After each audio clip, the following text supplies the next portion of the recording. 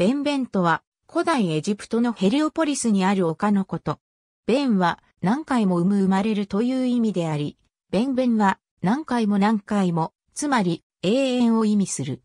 ベンベンとは古代エジプトのヘリオポリス創生神話において、原初の水、ヌンから最初に顔を出した、そして神が最初に降り立った原初の丘のこと。大地のもと、世界の始まりの地。ラーは、その誕生の際にベンヌの姿をとり、原初の丘、ベンベンの上に止まったとされる。このような信仰は、すでに第一王朝の頃には存在していたようである。エジプト第十二王朝のアメンエムハト三世のピラミッドのキャップストーン。カイロのエジプト考古学博物館所蔵。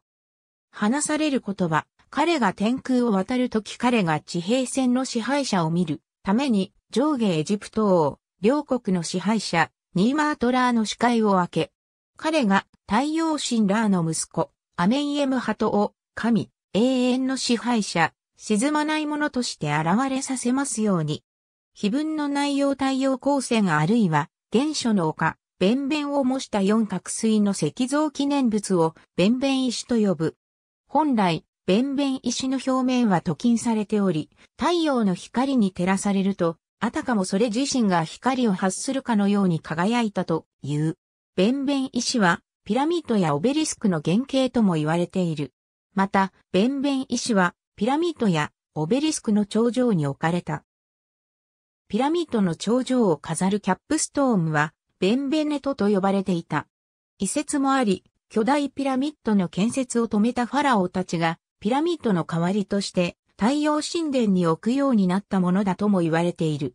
ヘリオポリスのラー神殿において、ベンベン石は最も神聖なものとされ、神殿の中央もしくは正面に安置されていた。原初の丘、ベンベンは昇る朝日が最初に照らす場所にあると考えられていたため、ベンベン石の安置場所も神殿のそのような場所が選ばれたと想像されている。